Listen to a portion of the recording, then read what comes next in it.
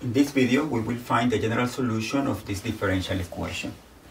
We know that the general solution is the solution of the homogeneous plus the particular solution and the homogeneous equation associated with this differential equation is this equation. And to solve this homogeneous, we replace the second derivative by a lambda square, we replace the first derivative by a lambda, and we replace y by a 1, and we create a quadratic equation. The solution of this quadratic equation, in this case we can factor, this is lambda plus 5 times lambda plus 2 equals 0. That means that lambda is either negative 5 or negative 2. Therefore, the general solution of the homogeneous is C1 e to the negative 5t plus C2 e to the negative 2t. To find the particular solution,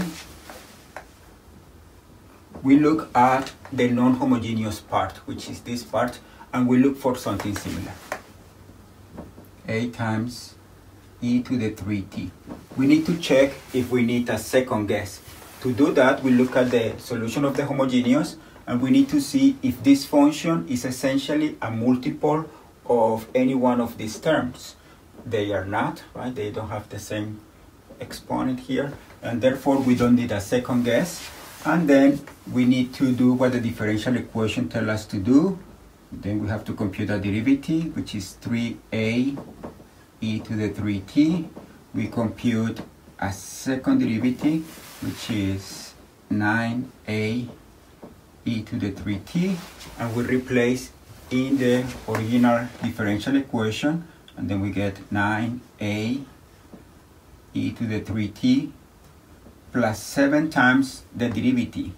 7 times 3a e to the 3t plus 10 times the original function, which is a e to the 3t, and we want this to be 40 e to the 3t. Then by doing the arithmetic here, we get this is 9 plus 21 is 30 plus 10 is 40. Then we get 40a e to the 3t equal to 40 e to the 3t. And we can make these two functions to be the same if we pick a equal 1. And that means that the solution of a particular solution of this differential equation is uh, e to the 3t because a is 1 and therefore the general solution of this differential equation is c1 e to the negative 5t plus c2 e to the negative 2t plus e to the 3t.